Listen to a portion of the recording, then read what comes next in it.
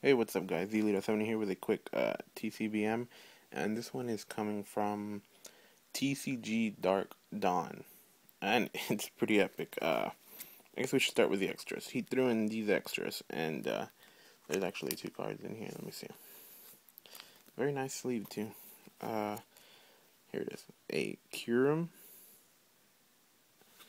and an Electivire which is a really nice card. I did not have this. Those are pretty epic extras, man. And I mean, the, for the trade itself, it was epic. And he throws in those. Uh, for the actual trade, the main card I traded for was a Darkrai EX. It's very nice. I was pretty excited when this guy agreed to trade. I know a lot of people are still after this card. I mean, it's coming out in a tin, I think, but you know, for the set to complete their sets and stuff.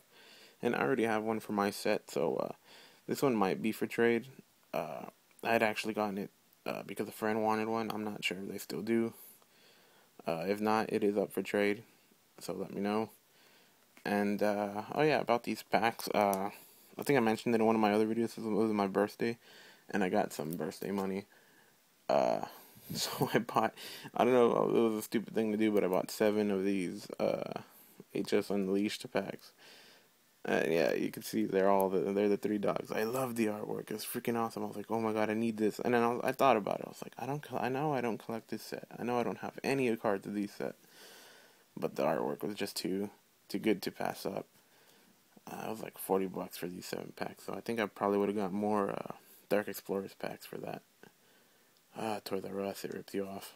Anyways, I didn't pull anything good except for a Crobat Prime, I think, and then I don't know the other rare card that I didn't know, like I didn't know what it was. It was an Alph lithograph, uh, so that's there. This will probably these will probably these cards will probably be in a trade binder soon. I need to like re-update all the cards I've gotten and stuff. So look out for that. I also got a lot of other other cool stuff that'll be in the video because it's not Pokemon stuff. It's like action figures. And yes, I do collect action figures. I don't open them. I don't play with them, but they're freaking awesome to look at. So that'll be in another video probably today. So uh, yeah, guys, thanks for watching.